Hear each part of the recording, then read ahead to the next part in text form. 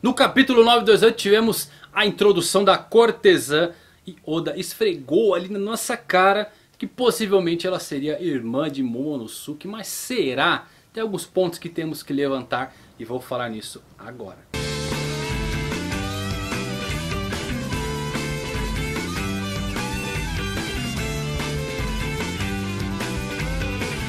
Fala galera, Evandro Fusari com mais um vídeo pra vocês, como vocês estão, espero que todos muito bem.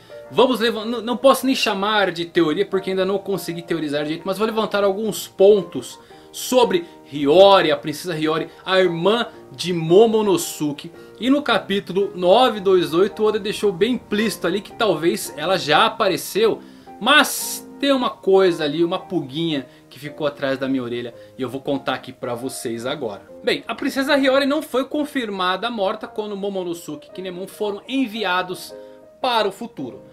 Como sempre foi assumido que a princesa de alguma forma escapou ou foi poupada e agora seria uma mulher adulta na linha do tempo atual. No capítulo 928 a cortesã foi praticamente esfregada aí na nossa cara como sendo a irmã de Momonosuke. E às vezes o menos é mais, o óbvio se concretiza e pode ser sim. Mas tem uma questão nessa equação que não bate. Quem é? Otama. Mas o que você quer dizer? Quer dizer que Otama é irmã de Momonosuke? Mas olha só, vamos lá galera. Se você olhar bem, Otama não se encaixa na linha do tempo como sendo irmã de Momonosuke. A sua idade não bate. Ela encontrou o Ace 4 anos atrás, quando ela tinha 4 anos de idade. Hoje ela tem 8. E Momo disse que sua irmã na linha do tempo atual teria 26 anos. Então Hiyori tinha 6 anos na época em que os outros foram lançados no futuro. Além disso, como seria possível que Tama não se lembrasse do seu irmão ou da sua mãe, mas se lembrasse do Ace quando ela tinha 4 anos de idade? Mesmo assim, ela jura também lealdade ao clã Kozuki, quem lhe contou as histórias do clã e por que ela tem orgulho do nome do clã? Essa é uma das perguntas que tem que ser feita sobre ela.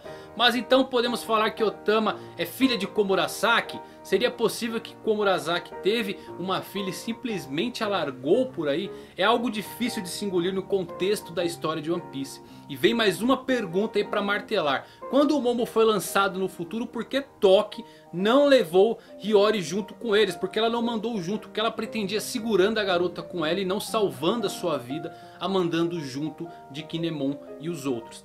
Bem, talvez Toque tivesse outros planos e aqui entra a teoria das frutas do diabo serem receptáculos para as almas das pessoas do século perdido. Essa teoria diz que essas pessoas tinham poderes sem precisar consumir as frutas e que de alguma forma suas almas e com isso também os seus poderes foram aprisionados nestas frutas e quem consumisse as frutas herdariam os seus poderes. Toque seria uma dessas pessoas do século perdido. E por isso seu nome é o mesmo de seu poder. Toque significa tempo. E o fato de Toque não ter mandado Hiyori junto pode ter sido aí o fato dela se sacrificar e transferir o seu poder para uma fruta talvez ou mesmo diretamente para Hiyori, transformando a garota aí na nova portadora do poder de controlar o tempo. O Oda ele tem uma tendência a esconder a identidade de personagens importantes aparentemente sem importância, isso geralmente no início de arcos e sagas. É só lembrar aí por exemplo como foram os encontros anteriores com princesas ou personagens importantes para a trama. E Otama está ali para nos confundir assim como a cortesã. Pode ser que nenhuma delas seja quem pensamos que seja. Pode ser que tenha uma terceira pessoa. Ainda tem muita história para ser contada. E novos personagens podem aparecer. Talvez Iori seja a herdeira das viagens do tempo. E está ali presente e esperando Momonosuke retornar e com isso se juntar a ele. Então o ponto de Tama confunde bastante a gente. E a cortesã está muito óbvio né, para ser One Piece. Então temos que conjecturar que possivelmente haja uma terceira, uma terceira pessoa, uma terceira opção de aonde está a irmã de Momonosuke. Pode ser que ela ainda apareça. Pode ser que a própria Otama seja, ah mas a idade não bate. Pode ser que ela foi enviada em uma linha do tempo diferente. Pode ser que ela perdeu a sua memória. Não sabemos como Oda... Cara, Oda colocou viagem no tempo numa história de piratas. Então tudo pode acontecer. Eu acho essa possibilidade, a, a pergunta principal Por que Toki segurou Hiyori com ela? Por que ela ficou com a garota lá? Talvez justamente por isso, para transferir o seu poder para a garota e a garota se tornar aí a nova usuária dessa, da, da habilidade de viajar no tempo. Então seria uma coisa bem interessante e plausível de se acontecer. Oda adora bagunçar a nossa mente com essas coisas escancaradas que aparecem, mas ele sempre deixa algumas vírgulas e alguns pontos ali que a gente não consegue juntar a frase toda. Temos que esperar sair os capítulos, não tem como, mas o Oda disse, né, se você já viu meu vídeo aí que eu fiz sobre o capítulo 929, sobre a volta da Reverie, tudo pode acontecer aí, e o Oda deixou implícito que 2019 vai ser o ano de Wano, olha só, hein, fez uma pegadinha aqui. Ele disse que vai contar basicamente toda a história de Kozuki Oden durante esse trajeto de 2019. Então teremos também a aparição de Toki explicando um pouquinho mais dos seus poderes, quem sabe confirmando essa teoria de que usuários do século perdido é, tinham os poderes sem consumir as frutas. Talvez ela seja do século perdido, viajou ao futuro, foi passando até chegar a um ponto ali talvez onde seja estratégico. Não sabemos se o seu poder permite que ela retorne ao passado. Se permitir pode ser aí como saberemos o que aconteceu no século perdido. Imaginem isso.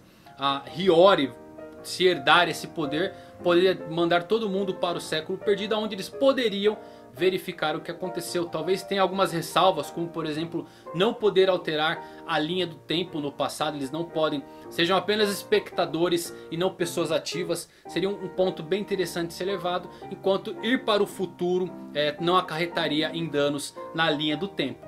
Então, tem que teorizar, não tem jeito. 2019 vai ser o ano que a gente vai descobrir muitas coisas de Wano.